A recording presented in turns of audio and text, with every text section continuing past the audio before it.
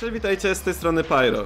Witam was w filmie, w którym pokażę wam kilka bardzo, bardzo ważnych problemów, które ma GTA San Andreas The Definitive Edition. Robię ten film tylko i wyłącznie z GTA San Andreas, gdyż reszta tych gier za bardzo mnie nie porwała i dopiero zdążyłem pograć bardzo dobrze w GTA San Andreas.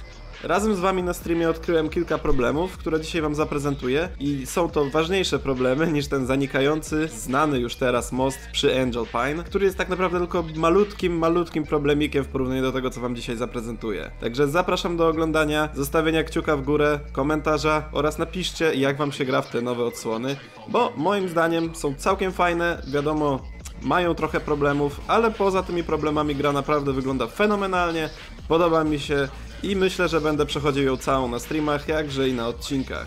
Także zapraszam do oglądania. Pierwszym fundamentalnym problemem tej gry jest bazowanie na wersji z dziesięciolecia Grand Theft Auto. Pierwsze co wam się rzuci w oczy to brak funkcjonalności BMX-a, gdzie żeby jechać szybciej trzeba było spamować W, teraz wystarczy, że trzymacie przycisk. Jest to brakująca funkcja, która została wprowadzona dla telefonów, abyście nie musieli spamować w ekran i została ona również popełniona w wersjach PC-owych najnowszej odsłony Definitive Edition.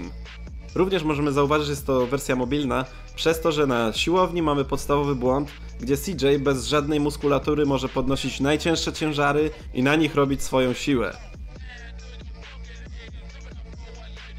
Oraz irytującym problemem jest to, że przycisk od skakania na rowerze jest również przyciskiem od pochylania się do przodu na rowerze. Więc jeżeli trzymacie shift, to wasza postać będzie nie dość, że skakać, to jeszcze będzie się wywalała na twarz. Kolejnym problemem jest emulowanie pada poprzez myszkę. Jeżeli macie samochód i chcecie sobie go dookoła obejrzeć, niestety, ale mysz nie pozwala wam w pełni obejrzeć całego pojazdu. Musicie ją ruszać, zmienia wam się sensitivity, jest niewygodnie, całość się porusza jakby po szynach. Jest to bardzo słabe i jest to typowe zachowanie e, kamery na konsolach, niestety. Ale wersja PC-towa nie została przepisana na nowo, jest to tylko i wyłącznie emulacja pada. To widać gołym okiem, jest to bardzo irytujące, nie wiem wiem dlaczego twórcy tak postanowili zrobić, aczkolwiek jest to też malutki problem w porównaniu do tego co się dzieje przy samolotach, ale do tego punktu przejdziemy później. Następnym bugiem, następną bardzo, bardzo brakującą funkcją w tej grze jest brak pochylania pojazdu. Jest to bardzo zauważalne przy kodzie Ripascha, dzięki któremu możemy sobie latać dowolnym pojazdem. Nie mamy możliwości pochylenia przodu samochodu w dół, ani podniesienia go do góry. Przez co jeżeli lecimy z wysokości, nie możemy ustawić sobie w jaki sposób nasz pojazd ma wylądować. Jest to działająca funkcja. W motocyklach nie, nie działa ta funkcja z kolei w pojazdach. Nie wiem dlaczego tego nie ma. Mam nadzieję, że to zostanie spaczowane im szybciej, tym lepiej. Z tego co widziałem na konsolach oczywiście wszystko działa. Działa to wszystko za pomocą gałki pada. Tutaj nie mamy takowej gałki i jest to problem, niestety. Mam nadzieję, że to sfiksują, mam nadzieję, że zbindują te opcje. Kolejnym nieporozumieniem jest hydraulika. Hydraulika, która w San Andreas jest tak naprawdę ikoniczną częścią gry, jest czymś, czego sobie nie wyobrażamy, żeby tego nie było w grze, zostało to schrzanione. Zamiast użyć numpada, Rockstar postanowił, że użyje do tego myszki, czyli znowu emulujemy myszką pada jeżeli przyciśniemy Shift, następnie musimy ruszać myszką, aby ruszać hydrauliką. Jest to coś bardzo, bardzo dziwnego, nie wiem dlaczego tak zostało to zrobione. Jak widzicie, całość się buguje, strasznie szybko działa ta hydraulika. Nie możemy już zrobić danego tańca lowriderem, tak jak to robiliśmy zawsze na serwerach w MTA. Teraz wszystko jest chaotyczne, nie da się tego przewidzieć, gdyż myszka nie jest padem, niestety. A Rockstar totalnie o tym nie pomyślał i teraz trzymając Shift nie mamy kontroli nad tym, jak, jak skaczemy hydrauliką. Jest to irytujące, również mam nadzieję, że zostanie spaczowane. Nie wiem dlaczego Rockstar uważa, że ludzie już w 2021 nie używają numpada. Numpad był świetną sprawą. Miałem nadzieję, że będę mógł sobie go ręcznie zbindować. Niestety, gra nie daje nam takiej możliwości. Nie rozumiem tego posunięcia. Troszkę mniejszą, aczkolwiek też irytującą sprawą jest numer 5, czyli jetpack i latanie pod lewym przyciskiem myszy. Y, sama funkcjonalność jetpacka nie jest skopana aż tak, jak można było sobie to wyobrazić.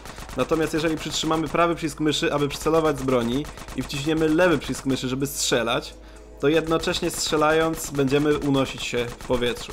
Ciężko mi jest to wytłumaczyć, aczkolwiek zobaczycie w samej grze, że jak już zaczniecie strzelać, nie możecie przestać. Jeżeli chcecie lecieć do góry, to wasza postać będzie cały czas strzelała z pistoletu.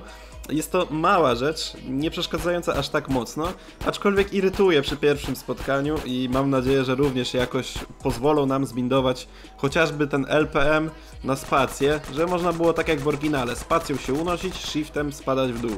Teraz mamy tylko lewy przycisk myszy i prawy przycisk myszy, pod którym mamy zarówno latanie, jak i strzelanie. Nie rozumiem tej decyzji, znowu jest to jakieś upraszczanie pod telefony, pod urządzenia mobilne, nie rozumiem.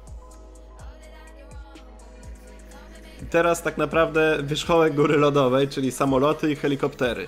W samolotach oraz helikopterach zostaliśmy pozbawieni wolnej kamery. Nie możemy się obracać lecąc samolotem, nie możemy oglądać sobie widoków dookoła.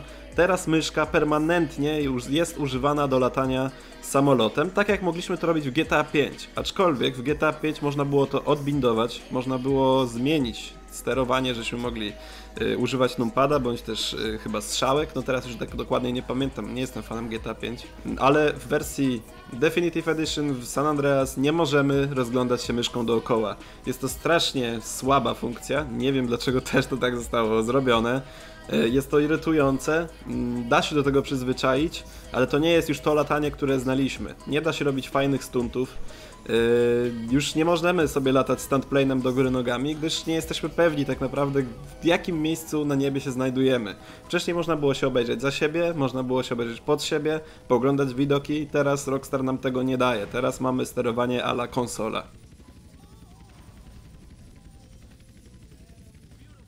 No i ostatnią błahostką, jaką zachowali tak naprawdę robiąc ten remaster, jest zepsuta kolizja. W porównaniu do oryginału możemy praktycznie we wszystkie te same miejsca się zbugować, możemy w nie wejść, możemy wpaść pod tekstury za pomocą tych samych gliczy, które znaliśmy z starych wersji GTA. Jest to taka mała pierdoła, ale mieliśmy nadzieję, że wszystkie budynki będą pojedynczo odnawiane, naprawiane, a jak widać Rockstar poszedł po łatwości, po łatwiźnie, użył starych plików kolizji. Jest to smutne, no ale jest jak jest. I to tyle w tym filmie. Mam nadzieję, że już więcej rzeczy mnie nie będzie irytowało w tej grze. Bierzcie ten film pod uwagę przed zakupem, bo jest to ważny zakup, dosyć dużo pieniędzy sobie żądają za te remastery. Czy się opłaca, czy nie, nie mi to oceniać, sami sobie to ocencie. A po tym filmie, jak widzicie, jest trochę błędów, które zanim nie zostaną spaczowane, będą bardzo irytować i nie będą pozwalały na kompletne przerzucenie się ze starych wersji. Mam nadzieję, że to naprawią. Tak samo mogłem wspomnieć o GUI, które jest naprawdę średnio wykonane. To jest mieszanka PC-owej wersji z mobilną wersją z nie wiadomo czym tak naprawdę. Tak jak misja Caesarville Pando wygląda inaczej niż na przykład elementy GUI u fryzjera. Elementy GUI u fryzjera wyglądają inaczej niż chociażby podpowiedzi jakich przycisków używać. Wszystko jest trochę niespójne, trochę słabe, ale da się z tym grać, da się na to przymknąć oko. Także, no cóż, mam nadzieję, że film Wam się podobał, mam nadzieję, że Wam pomogłem. w sumie nie pomogłem, ale że pomogłem przy decyzji, przy zakupie. Eee, zostawcie lajka, subskrypcję, komentarz. Dzięki wielkie. Do zobaczenia w kolejnych odcinkach.